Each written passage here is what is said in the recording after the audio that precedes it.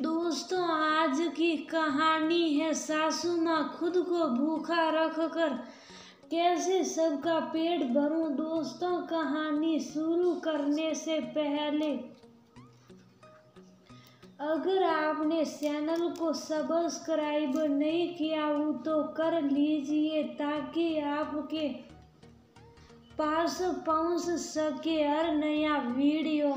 संगीता ने पर्दे के पीछे से झाँक कर देखा। सब खाना खा रहे थे, वह उदास हो गई। उसे काफ़ी भूख भी लगी हुई थी। उसका मन मस रहा था, पर वह शुभ थी और अपनी बारी का इंतज़ार कर रही थी। तभी उसकी सास ने आवाज़ लगाई, अरे संगीता दामान बाबू के लिए थोड़ी खीर तो लाओ। खीर सुन उसके गालों पर आँसू मोतियों जैसे समकने लगे अपने मायके में। वह एक साथ सार कटोरी खीर पी जाती थी। उसके घर वाले उसके सारे नखरे सहते थे। ये नहीं खाऊँगी वह नहीं सही ये तीखा वह ज़्यादा खट्टा मीठा कमे जाने क्या किया पर अब वो सार दिन पुरानी रोटियाँ भी हंसकर खा लेती थी।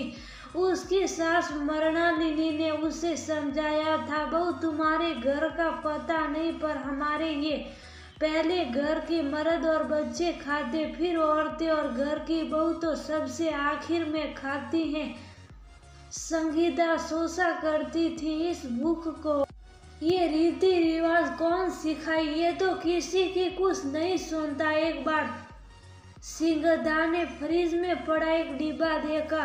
उसने जब खोला तो देखा उसमें गुलाब जामुन थे, जैसे भी वह एक टुकड़ा मुँह में डालने वाली थी, तभी पीछे से उसकी सास ने टोकते हुए कहा, बहु बुरा मत मानना, गुलाब जामुन अमन को बहुत पसंद है, हम तो औरतें कुछ भी खा लेगी।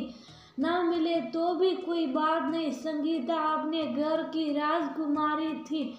उससे घर में कभी भी, कोई भी, किसी भी चीज़ के लिए उसे ना नहीं करता था, पर यह तो ससुराल था। अपना दर्द सुबाते हुए सिंह ने डिब्बा फ्रिज में वापस रख दिया। उसका आत्म समान भी नहीं माना कि वो उस गुलाब जामुन को खाए। आज का दिन है जब वह भूख से बेहाले पर अपनी भूख ज़ाहिर भी नहीं कर सकती। संगीता खीर का बरद बर्तन लेकर बाहर आई। वह नकली हँसी लेकर सबको खीर परोसने लगी। उसके हँसी के पीछे का दर्द कोई नहीं देख सकता था। उसका पति अमन भी कभी वह दर्द भाप न पाया। संगीता सास बोल पड़ी अरे संगीता, रामान बाबू को थोड़ा और खीर दो। संगीता ने खीर परोसा और पानी लाने के बहाने से अंदर चली गई। संगीता माँ की तस्वीर पकड़कर खूब रोने लगी, भूख लगी है माँ।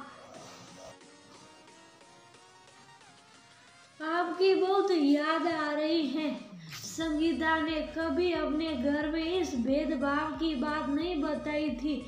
दामान के लिए ढेरों पकवान और बहू के साथ व्यवहार। उसके घर वाले दुखी हो जाएँगे, वो ने बड़ी शान से उसकी शादी करवाई थी। अगर उन्हें पता लगता कि उनकी इकलौती बेटी के साथ ऐसा व्यवहार हो रहा है, उनका दिल टूट जाता संगीता की पसंद नापसंद की किसी को पता भी नहीं था।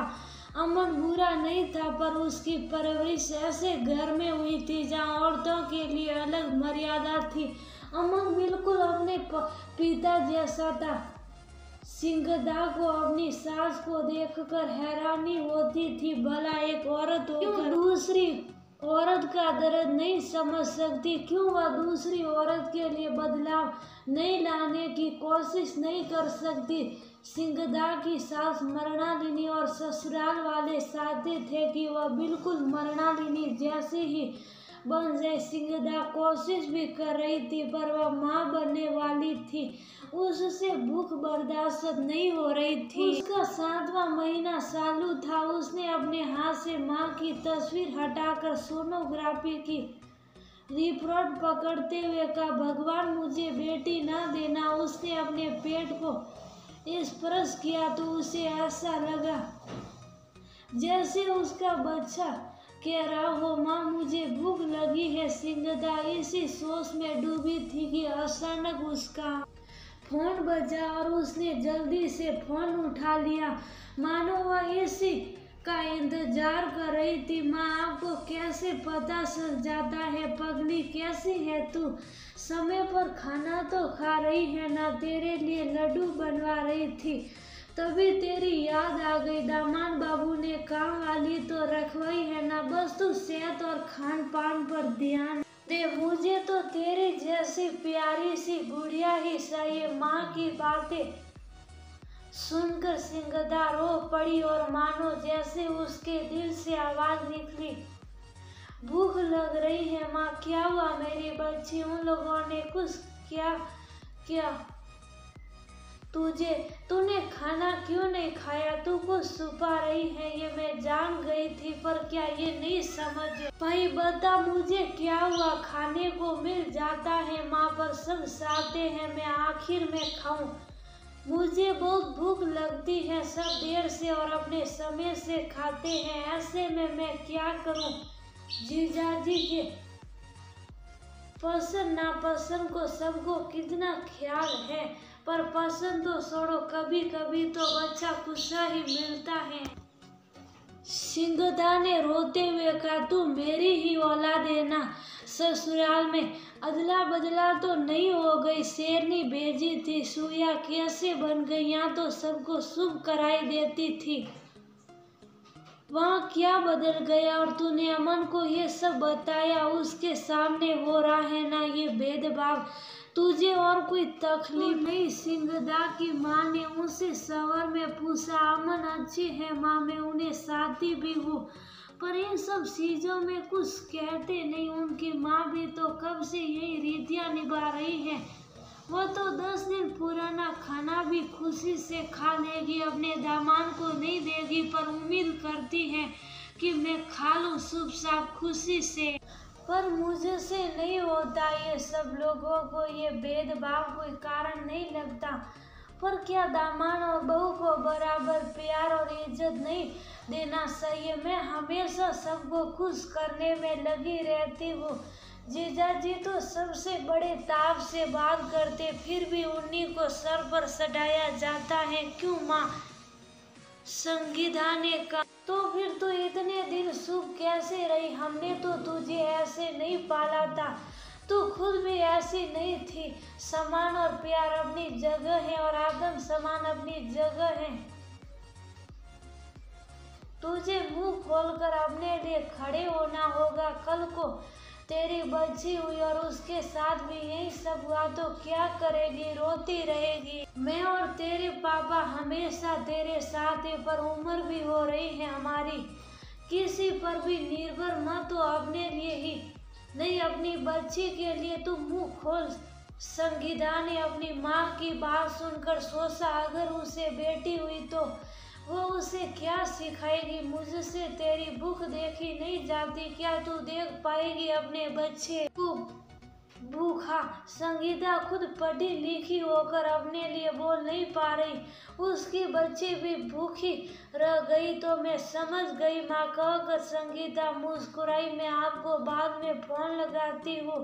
संगीता खाने के टेबल पर गई और प्लेट निकाल कर अपने लिए खाना लेने लगी सब उसकी और हैरानी से देख रही थी सिंगदा की सास मरणालिनी ने उसे रोकने की कोशिश की तो संगीदा ने कहा, माँ, बाबा, दीदी, जीजाजी और अमन, मुझे भूख लगी और बहुत भूख लगती है। गर्भवती होने के पहले से मुझे से भूख बर्दाश्त नहीं होती। हमारे घर में ऐसे कोई नियम नहीं थे जिसको जब भूख लगती है वो खा लेता है। अबू को कैसे समझाऊं रीति रिवाज? आप सबको जब खाना है खाए मैं परोस दूँगी, पर मुझे जब भूख लगेगी मैं खाऊँगी।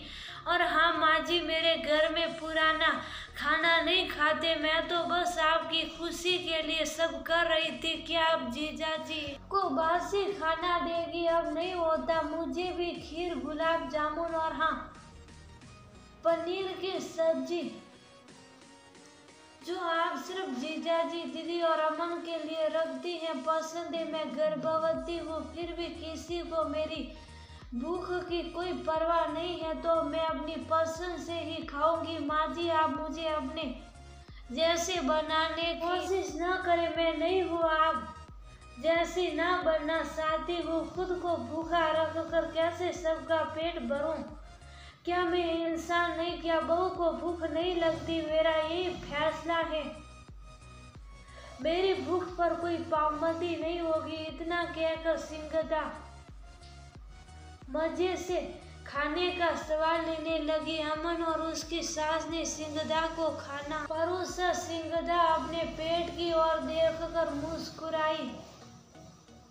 जो काम वह नहीं कर पाई, उसकी आने वाली संतान ने उसके लिए कर दिया। सिंगदा ने अपने पेट को सप्रस किया और अपने बच्चे को धन्यवाद दिया। उसके बच्चे ने और उसकी माँ ने उसमें ये एहसास जगाया। सिंगदा मुस्कुराकर खाने लगी और उसने पेट भरकर खाया।